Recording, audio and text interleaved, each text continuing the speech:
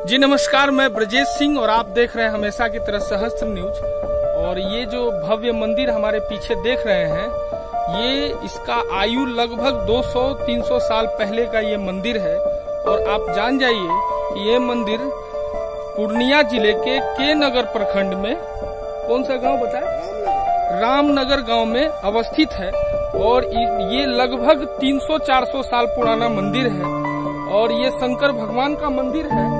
और हम आपको अंदर का दृश्य दिखाते हैं और बताने की कोशिश भी करते हैं कि हमारे जो कोसी क्षेत्र है, यहाँ इतने भव्य भव्य मंदिर हैं, जिनकी जानकारी शायद हम लोगों को नहीं है। और हमारा चैनल जब जैसा कि आपको मालूम है कि हम लोगों का काम यही है कि हम आपको ऐसी चीज़ों से रूबरू करवाते रहें, जो शायद हम आप नहीं देखे हो या हमारे क्षेत्र में है, हमें जानकारी नहीं है। तो चलिए जानते हैं और देखते हैं अंदर का नज़ारा। इतना पुराना भव्य मंदिर है और इसका मैंने अंदर में क्या है, किस प्रकार से इसकी नक्काशी की गई है, ये सारा चीज़ हम आपको बताएँगे और दिखाएँगे भी। और यहाँ कुछ पुरोहित लोग हैं, हमारे मैंने इस मंदिर के पुरोहित लोग हैं, उनसे भी जानने की कोशिश करेंगे कि आखिर यहाँ जो भी ये मंदिर है इस मंदिर को किसने बनवाया था। और इसके बारे में और भी चीज़ें, जो कि एक मंदिर का इतिहास हमेशा होता है। वो सब जानकारी हम पुरोहित जी जो है यहाँ पे, उनसे भी लेंगे, वो भी हम आपको बताएँगे। मंदिर है इसकी ऊंचाई भी देख सकते हैं।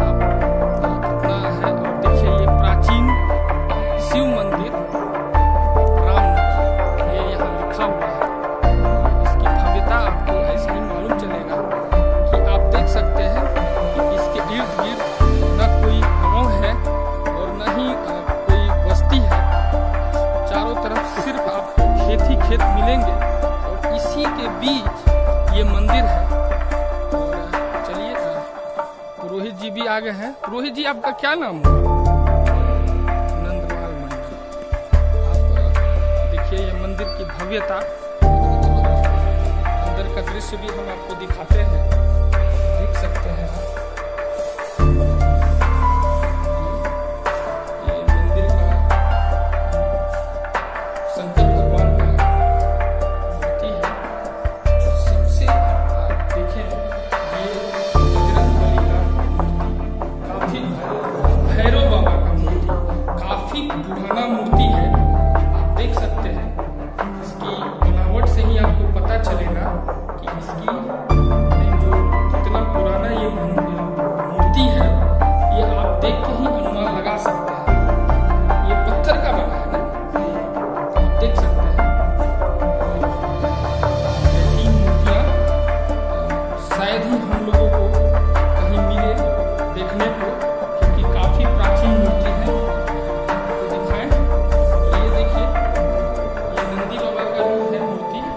पुराना मूर्ति है। ये संगमरमर का है शायद। ये देख सकते हैं आप, कितनी पुरानी मंदिर मूर्ति है। और भी हम दिखाएँ, ये देख सकते हैं आप ऊपर, किस प्रकार का यहाँ पर नक्काशी का नज़ारा है। ये देखिए, ये कितना भव्य बनाया गया था उस जमाने में।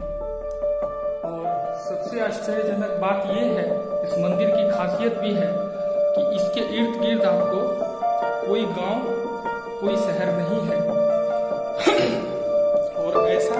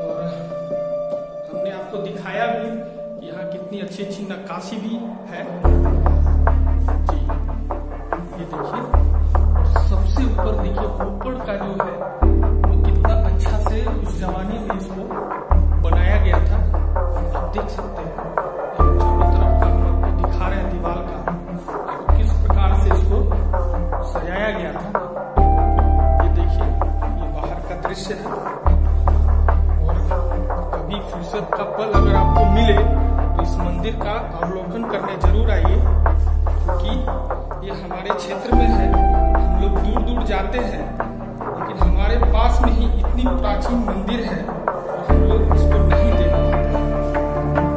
ये है पुजारी जी। हाँ तो बाबा ये बताइए कि इस मंदिर के बारे में आप क्या जानते हैं?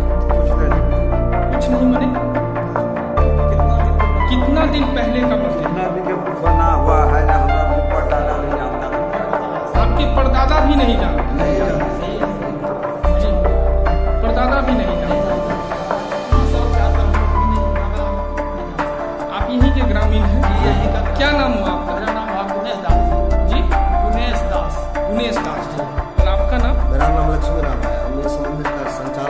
अच्छा आप इस मंदिर के संचालक हैं।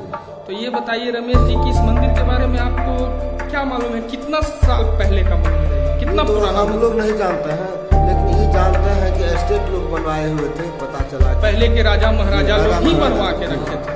अच्छा और इसके अलावा कुछ इस मंदिर के बारे में आप नहीं जानते कि कब का मंदिर है? लेकिन आस्था विश्वास यहाँ के लोगों का इस मंदिर पर बहुत ज़्यादा बहुत है। दो हज़ार ईस्वी से यहाँ में संचालन हमने किया जी। जिससे कि इसे अष्टजाम होता है बहत्तर घंटा करके करते हैं लोग चंदा कलेक्शन करके जी जी। तो उसी से यहाँ जो है के हैं दीवार करते हैं बाउंड्री वाली सब यही सब जी। कलेक्शन करके करते हैं। स्टक भी हो जाता है। मैंने यहाँ पर और भी सरकार की तरफ़ से कोई कुछ नहीं मिला है ना मिलता है। कोई कोई नहीं आता है इसको देखने या इसके सौंदर्य को यहाँ कोई नहीं। आता। सबसे अच्छी बड़ी बात है हम आपको अपने जितने भी हमारे चैनल को देखने वाले लोग हैं इस मन, इस मूर्ति के ऊपर ये मूर्ति मैं आपको बता दूँ कि ये कितना पुराना मूर्ति है। ये मैं बार बार अपने चैनल को के लोगों को दिखाना चाहता हूँ। ये देखिए कि ये मूर्ति कितनी पुरानी है। शायद इसका कार्बन डेटिंग अगर किया जाए तभी पता चलेगा कि ये कितनी पुरानी मूर्ति है। लेकिन मेरे हिसाब से ये 300-400 साल पहले की मूर्ति है। जी? 300-400 500 वर्ष ही कहा तो हम अपने दर्शकों को बस इतना कहना चाहेंगे कि एक बार के नगर का ये क्षेत्र में इसको आए और ज़रूर ज़रूर एक बार इस मंदिर में आए और अपना जो भी मनोकामना हो, यहाँ ज़रूर मांगे। अवश्य पूरा होगा। यहाँ के जो भी लोग है देखिए हम दिखाना चाह रहे हैं कि इसकी भव्यता कितनी है। इसको किस ढंग से बनाया गया था उस समय उस जमाने में ये आप देख सकते हैं। इसमें चारों बगल था वो टूट गया तो फिर रिपेयर हुआ। ये सब टूट के तब बनाया गया है। अच्छा ये अभी फ़िलहाल बनाया गया दो हज़ार ईस्वी बनाया जी। और इसको देख सकते हैं इसका जो कैंपस है ये कितना भव्य है।